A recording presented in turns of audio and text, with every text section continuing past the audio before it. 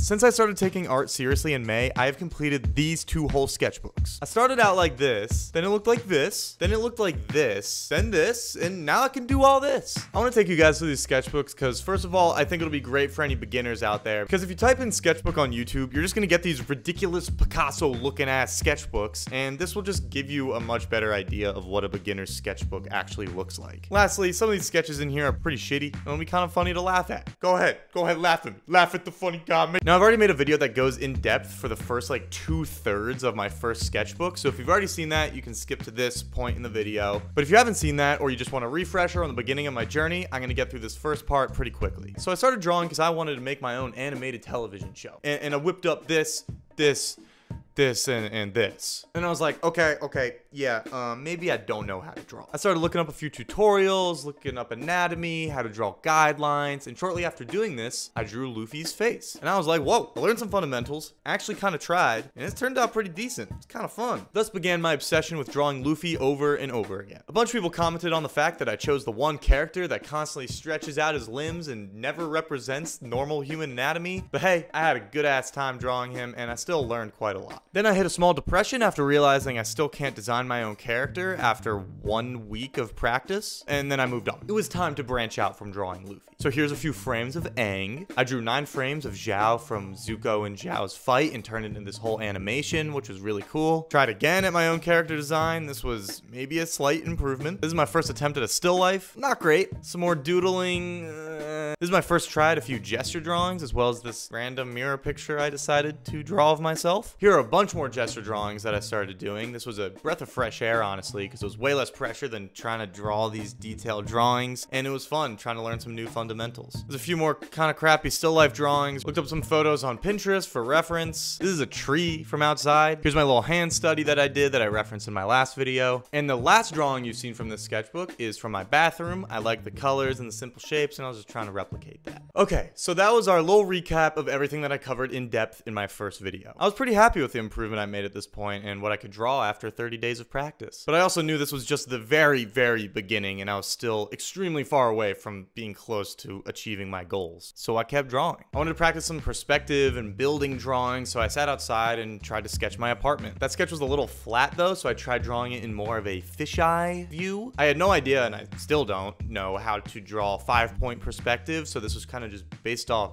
vibes. Here's a bunch of apples. I actually feel like I finally made a slight breakthrough with the shading in this, and it was fun to try to figure this out and work through how to get down the values properly. Here's kind of a half-baked sketch from outside the Frist Art Museum. One of the employees that checked me in, I saw drawing in his sketchbook some heads, and he said, it's really good to understand what's underneath, so drawing skulls and skeletons can really help you out a lot to understand the structure. So that was an awesome interaction, very wholesome, talked to another artist. So I went home and sketched some skulls. The one on the left here is actually a sketch of a sketch from a tutorial. So, you know, kind of cheating. But the other one here, I just looked up a picture on Google Images and sketched that out. And I think these turned out pretty good. This is a very okay sketch of the power lines outside my apartment. However, I do like the composition. This is a still life of my watering can. Next two pages are filled with spoons. We got spoons on spoons on spoons on spoons. I don't know. I just like grabbed a spoon, sat it down, and drew it. I just wanted to understand how people draw reflections and stuff. Ah! Ah! Ah, what is that? What is that? Yeah, it's me.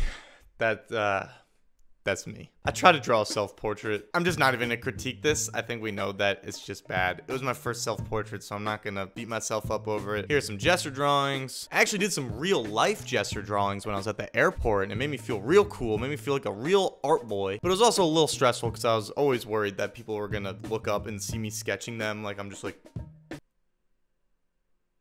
Here's a POV drawing I did. I saw these in a bunch of those sketchbook videos online and I wanted to give it a shot myself. Also two drawings of my eraser. Pretty exciting stuff. There's this YouTuber I really, really like. His name is Nakey Jakey and occasionally he makes some music videos so I just use those as reference for some gesture drawings. This is another POV drawing of my childhood bedroom. The perspective is like super off. It's just not good but honestly it's very hyped to see this right now because I know that I recently drew a, another POV bedroom drawing in my second sketchbook sketchbook that you'll see in a few minutes, and it's like definitely a big improvement. Real quick POV drawing of me at my friend's house, and another POV drawing of me sitting in my bed, and one more kind of unfinished one that I did back at the airport. Shit. Bit of a change in tone here. Yep, this is me. This is my naked bod. Spoilers for Blue Period. If you want to read or watch Blue Period, do not listen. Just skip like 10, 15 seconds ahead. I got inspired to do this from the scene in Blue Period where Yatora and Ryuji draw themselves naked, and I was like, I'm gonna draw myself naked. And you know what? This is overall not too bad. The proportions are decent. I like the hand. I think that's my favorite part of it. My shoulders are kind of small and my mouth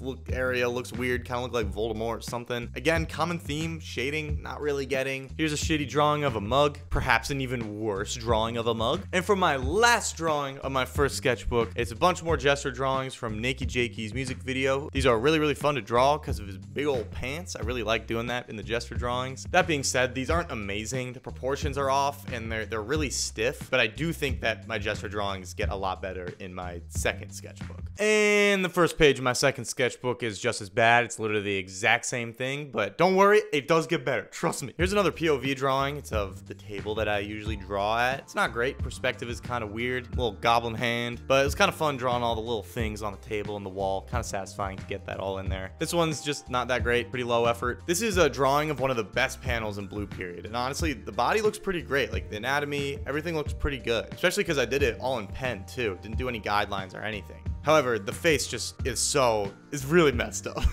POV on my desk. Here's a few more gesture drawings from Nakey Jakey. This should be the last of them. This is, uh, sorry. This is of my, uh, this is of my plant. Stanley. He's, uh, no longer with us. I just wanted to draw him before, uh, he left this world. So, if we could all just do a, a moment of, of peace, that'd be, that'd be great. I'd appreciate that. I, uh, I spelled peace wrong. Here's another great shot from Blue Period, and actually this one turned out pretty good. I think I just did the anatomy and the pose pretty well. Hell yeah, this is like the first actual good drawing in here, I feel. This is another shot from Blue Period. Drawing this definitely got me pretty amped up and reassured me that like, I kind of am getting better at this. Like, I, I, I can feel the momentum going. And then in classic Jake fashion, I took that confidence and made myself think that I could finally draw my own character without reference. Nope, what the fuck? The Sokka looking guy looks alright, and I actually kind of like the emotion I got out of this one, and the anatomy is solid on the super edgy anime guy too. You know what? It's an improvement, and, and we'll take that. And then I kept going. Again, improvement. It was hard for me to consistently draw the same character with different expressions, and there's also this, but I like this guy. He's fun. Here's a POV sketch of another plane ride that I had, and honestly, I think the perspective looks a little bit better here. Okay, so if you have seen this video, these next two pages should look very familiar to you. Long story short, made my own character and tried to animate her. And I'll just let, let you make your own opinions on how this went. I need to take a piece. No! This is kind of a random page with some perspective practice and a stuffed goose. So for this next batch of sketches, I really wanted to work on my line confidence because I hated all the chicken scratch that I'd been doing and I saw somewhere that practicing a lot with just pen can really help with your line confidence. This is Gojo from Jujutsu Kaisen. Drawing in pen is kind of scary and it's a little leap of faith every time you take a stroke, but honestly, it felt great and very freeing. Here's a few sketches of Itadori from Jujutsu Kaisen and even though they're not like perfect from the reference, I still think they look solid Now these are a little bit rougher, I think. They're supposed to be of Nausicaa from Nausicaa of the Valley of the Wind. I just didn't get it quite right with these. It's tough getting the faces right without guidelines, but once again, copying down the hatching was awesome. I really want to learn how to do this myself without having to use reference. I just think it looks incredible. Here's a few gesture sketches from this Knights of the Old Republic cinematic. This one's a little off, but I think the rest look pretty decent. Ooh, I really like this one. It's of Spike from Cowboy Bebop and maybe his most notable pose, and I think it turned out great. The only thing was the shading was kind of tough and it doesn't look amazing because I was trying to adapt it from the simple shading and the reference to hatching, but overall, very happy with it. Here's two more drawings of Spike. Hair's a little uneven here, but I thought these two were solid. If you see my most recent video, you know what we've got a lot of hand drawings in here. So if you want a more in-depth video on how I learned how to draw hands, go watch that. So these were from trying to draw my own hand, and this is from a tutorial. Obviously getting kind of frustrated here. Drawing hands is kind of hard. And this is some more tutorial training, and bam, we got we got some hands going here. I actually quite enjoyed drawing all these hands. It was it was very satisfying to get it together and they're they're very aesthetic. Brief hand intermission to draw Mugen from Samurai Champloo. These turned out just okay. I, I kind of want to revisit him and make some better sketches. More hands! Yay! Yay! And guess what's on the next page? More hands. Here's my little four minute hand sketch challenge. That was great. I really enjoyed doing that. And the rest of these hands are frames to that snapping animation I made in my previous video. Also, there's like a few gesture drawings in here just as a break from drawing hands all the time. After I finished the hands, I also did a few gesture drawings. I think they're just a nice little break from drawing stuff that requires some more time and finer detail. I'm definitely getting a lot better at drawing, which could only mean one thing. Jake gets depressed because he still can't draw his own character without reference. Woo! This one honestly really got to me. I mean, some of these are okay, but not really any improvements. I honestly got really, really frustrated. I mean, look at this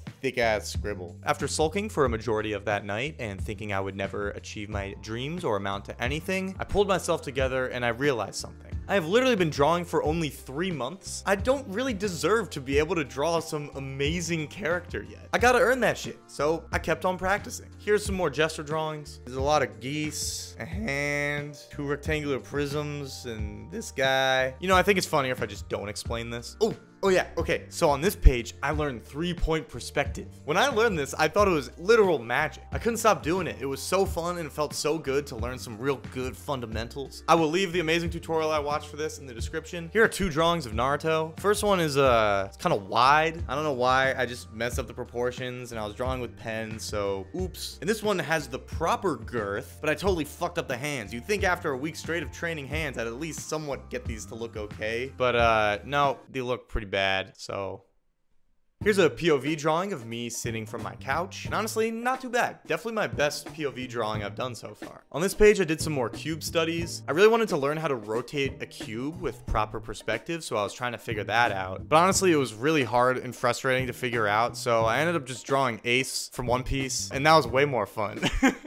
so hell yeah, fuck fundamentals. I just want to draw anime characters all day. Here's a little reference study I did from the trailer for Lazarus. This is Watanabe's new show he's coming out with. He made Cowboy Cowboy Bebop and Samurai Champloo, two shows that I absolutely love. And first of all, holy shit, this trailer's amazing. I've watched it so many times. Go freaking watch that shit. Unfortunately, these pen sketches just didn't really go that great. They're kind of off. Probably just wasn't really focusing that well, so I, I do want to revisit this at some point. Here's another POV drawing from a bedroom, and this is definitely the best one I've done so far. Thinking back, when I said all the way back to my first ones, this is definitely way better, right? Those cube perspective studies that I did definitely helped out a lot for the perspective for this. It does get a bit wonky with the desk and where the ceiling lines are supposed to be, but overall this was a huge improvement. Goose. Here's a more fisheye drawing I did of that same room. I don't really know how to do five point perspective still. I didn't know what I was doing, but despite that, there's something here. It still looks kind of neat, even though a lot of this is super wonky. Okay, so the rest of this sketchbook is filled with tons of gesture drawings. I don't want to go into too much detail on this because it may or may not be the topic of a future video, but I will show you the rest of the pages in this sketchbook as promised. That is two whole sketchbooks down. Pretty cool, pretty proud of that. I think it's a great idea for any artist to go back and look through their sketchbook, see what they learned, see what mistakes they made, and just see how far they've come from when they first started that sketchbook. And honestly, it's like really satisfying completing a sketchbook. These two things are like full of all my drawings. I was learning how to draw. It's pretty cool. Throughout these sketchbooks, I learned and definitely still am learning how to draw human anatomy and face structure with proper guidelines. I learned perspective, gesture drawings, hands, line confidence with a pen. But I honestly think the most important learning experiences through drawing these sketchbooks were those times when I